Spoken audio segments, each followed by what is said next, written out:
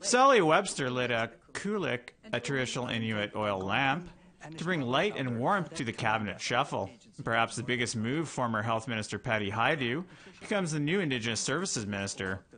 Best known for her many press conferences during the pandemic, Hajdu says it's a huge honor to be in her new role and to work with Indigenous communities from across this country. I think it's a critical role in our government's efforts to further reconciliation.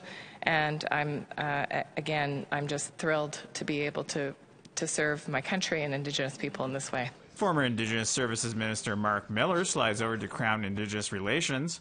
One of his priorities will be around land. The relationship has been broken be because of land, land theft. Um, and it's time to give land back and that's just the reality of it. Um, is that is it? It's easily said.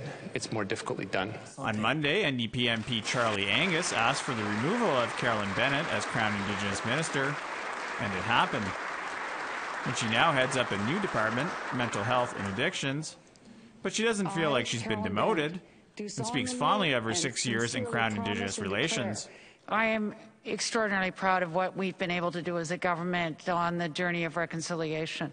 And from closing gaps to righting wrongs to being able to accelerate the path to self determination, this has been an extraordinary journey. Trudeau reiterated his commitment to reconciliation. While we move forward on fighting climate change, we need to include reconciliation with Indigenous peoples in every job we take, in every step of the way. However, NDP leader Jagmeet Singh said it is time for Trudeau to put action to words. Stop fighting Indigenous kids in court.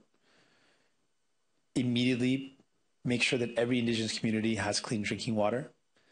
And truly to walk the path of justice, we've got two really clear uh, paths that have been laid out. The Truth and Reconciliation Commission has the, the calls to action, and the Murdered and Missing Indigenous Women and Girls has the calls to calls to truth. Let's see those implemented. Parliament resumes on November 22nd. I'm Fraser Needham for APTN National News, Ottawa.